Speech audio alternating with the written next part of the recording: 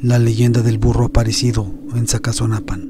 Cuentan los abuelitos que hace mucho tiempo en Zacazonapan, cuando el pueblo todavía tenía calles de terracería y solo eran unas cuantas casitas, había muchos animales de corral sueltos por todas partes. Sin embargo, los que más abundaban eran los burros, a quienes los jóvenes y los niños los jineteaban. Se paseaban con ellos por todas partes, en las calles, en los callejones del pueblo Varios burros eran montados por dos o hasta por tres jinetes. De repente una tarde apareció un extraño burro que deambulaba en la plaza del pueblo.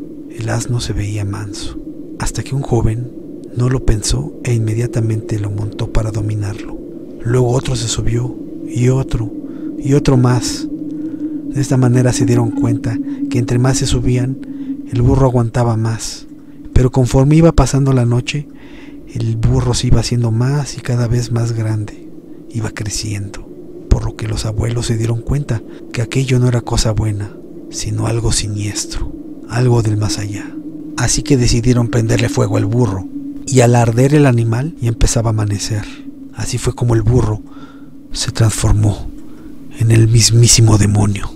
Al verlo, todos se quedaron estupefactos y espantados. Muchos huyeron de la plaza donde sucedió esto.